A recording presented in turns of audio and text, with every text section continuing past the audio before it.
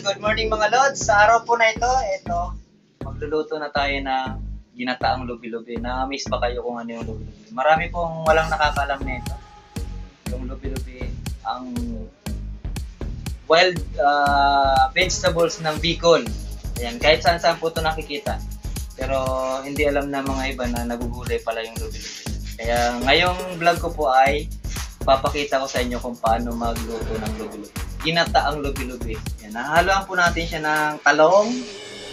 Yan, talong. Okra. Yan. Yan, syempre meron tayong tanlad. Yan, papasarap din yung mga.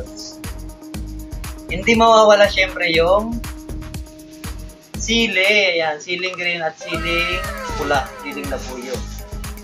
Yan, ito yung ating panggata. Instant gata lang. Unahin na natin yung lubi-lubi. Slice lang natin ng maliliit.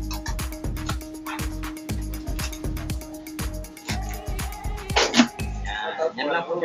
Isang isang puno lang kasi yung may talbos eh, kaya maliit. Sunod na natin yung talong. Lagi mo yan, sir. Malaki yung talong ko, sir. Ay, talong ko.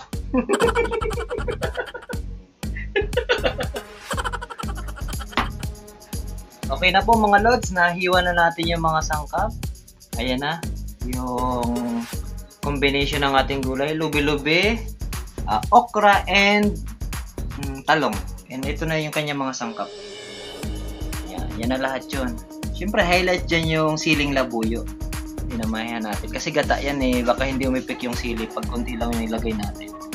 Kaya, let's get it on. Magpapakulo na tayo ng tubig ah, para sa ating gata. Alright?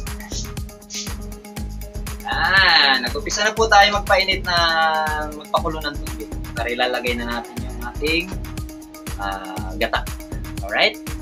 Ayan, kumukulo na po yung tubig. Ilalagay na po natin yung ating gata. Ayan. Kailangan po nating halu-haluin para hindi magbilog-bilog yung gata. Ayan. Yan po yung ginagawa natin dyan sa pagluluto ng ginataan. Kahit ah, yung niyog na kinayod, ganun po, ganun rin po. Inahalo-halo para hindi mamumuo yung gata. Ayan. Then papakuluan ulit natin siya para maluluto talaga yung gata at matagal mapanis. Yan po yung technique sa pagluluto ng gata. Ah, papakuluan mo at lulutuin mong maigi yung gata. Ayan, nilagay na po natin yung mga sangkap. Pati yung tanlad. Ayan, para maluto. And another kulo na po ulit siya para maluto rin yung mga sangkap. Ayan, yung mga rekado. Ay, mamaya na yung sili, pati yung paminta. Okay. Ayan mga lods, nilagay na natin yung mga gulay. Pinagsabay-sabay na natin kasi pare-parehas yan sila madaling maluto. Ayan, para isahan na lang. At kumuloy at maluto, lalagay na natin ang pag medyo hapok na siya, lalagay na natin yung paminta, ah, mga sili, at yung kanyang tamang timpla. Alright? Ayan mga lods, kumukulo na! Yayay! Ilalagay na natin yung mga sili paminta. Ayan mga lods, nilagay na natin yung pang-ultimatum natin. Ayan, siling green and siling labuyo plus paminta. Mm. Tatakam na talaga si chef.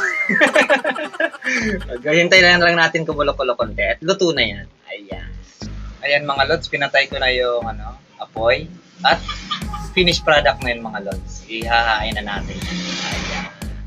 Ayan na po mga Wow! lods, ang ating finished product. Agugoy. Mapapamukbang na naman tayo nito. Masarap yung loads. agoy, agoy, agoy, agoy. Hmm. Yan yung ating ginataang lubi-lubi na may halong talong and okra.